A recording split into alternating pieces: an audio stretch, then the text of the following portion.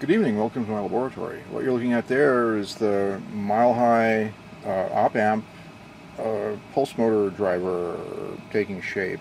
It's a TL082 uh, op amp.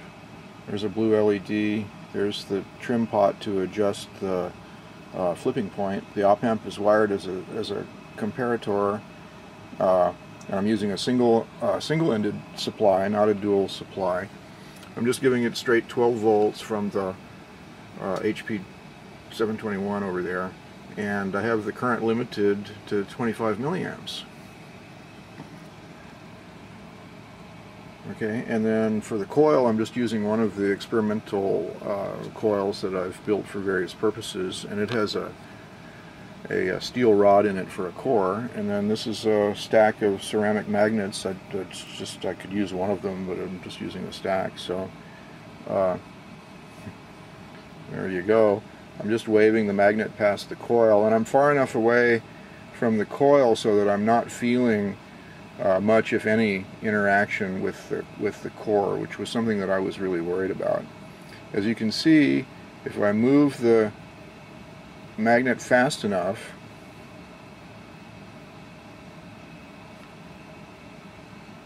I get a good flash.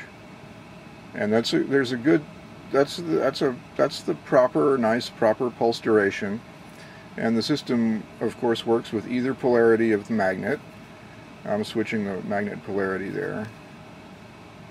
That's also a, a really nice feature I think uh, because that allows you to use uh, alternating polarities in your rotor magnet if you want to.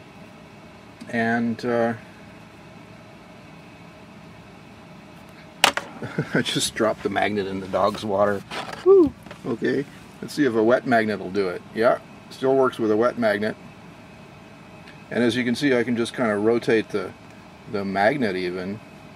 And as long as I swing it as long as I get the field changing fast enough, the comparator will fire. Alright, thanks for watching, and thanks to MileHigh for the excellent suggestion uh, for biasing the coil with the um, voltage supplied by the circuit supply itself. I'll post a schematic shortly.